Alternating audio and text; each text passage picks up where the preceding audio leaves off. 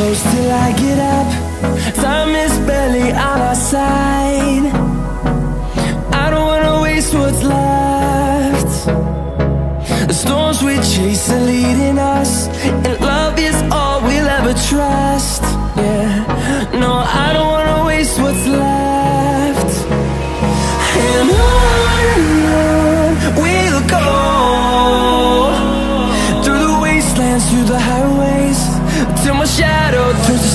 days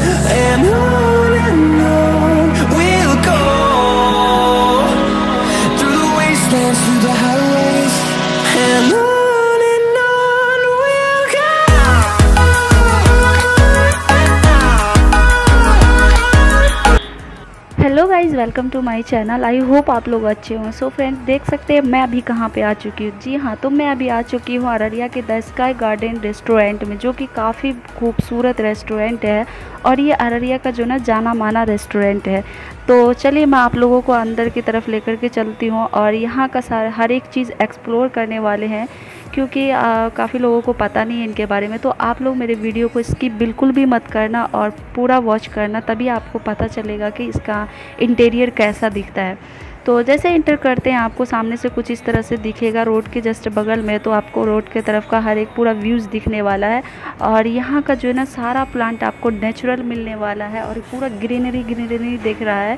तो जैसे ही आप सामने से दिखेंगे, आपको यहाँ पे टेबल और चेयर बड़ा सा मिल जाएगा, जो कि आप अगर फैमिली या फ्रेंड्स के साथ कोई भी बर्थडे या पार्टी सेलिब्रेट करना चाहते हो तो आप यहाँ पे आ सकते हो, क्योंकि ये स्पेसियस जगह है। और सामने से उससे आगे भी आपको यहाँ पे जो टेबल और चेयर मिल जाएगा जो कि खुले आसमान के नीचे है तो आप यहाँ का भी इंजॉय कर सकते हो।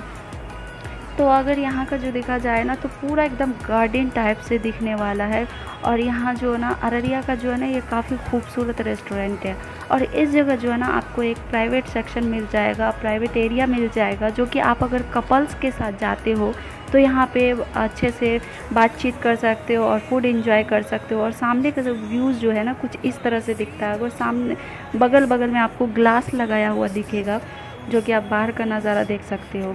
और तो और, आपको यहाँ पे मिलने वाला है, एकदम देसी फील करवाता है ये वाला वॉल क्योंकि ये बाँस का बना हुआ है और डाउन टू अर्थ फील करवाता है। तो आप इस जगह से हर एक, जो कैबिन बनाया हुआ है, उसके बीच में ये वाला बाँस का वॉल लगा हुआ है।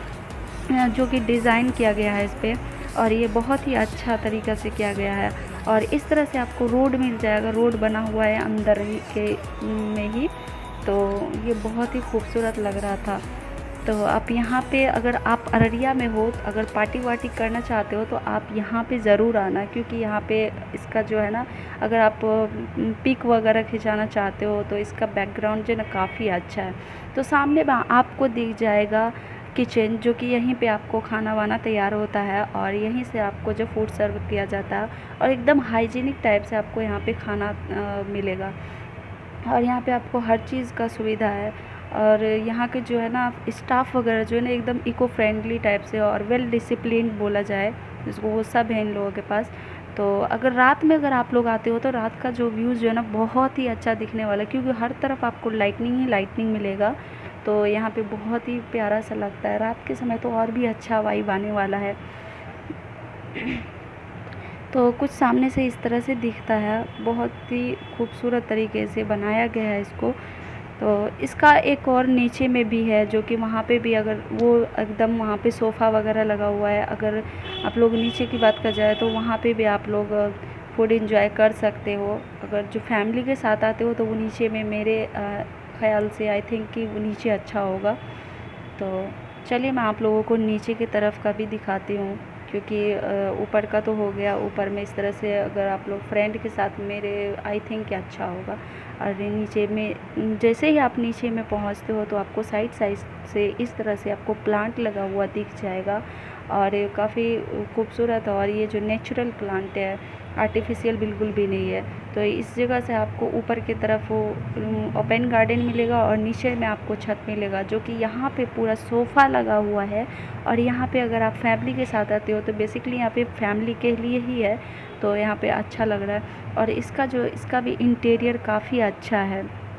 तो यहाँ पर एकदम सोफ़ा वगैरह मिलने वाला आपको।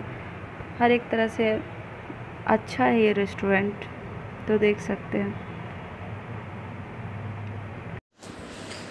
सो फ्रेंड्स आई होप कि आप लोगों को मेरा वीडियो अच्छा लगा होगा और यहाँ का जो एक्सप्लोर किए ये भी अच्छा लगा हो, क्योंकि अररिया का जाना माना रेस्टोरेंट तो आप लोगों को ये एक्सप्लोर कराना बहुत ही ज़रूरी था और जानना मेरा काम था जानवाना मेरा काम था।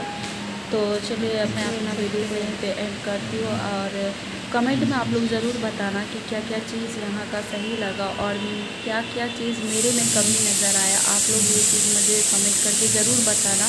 मैं इस चीज़ को माइंड में रखूँगी और आगे से मैं इस चीज़ का ख्याल रखूँगी। तो आ, मेरे वीडियो को आप लोग लाइक सब्सक्राइब शेयर ज़रूर करना। Thank you so much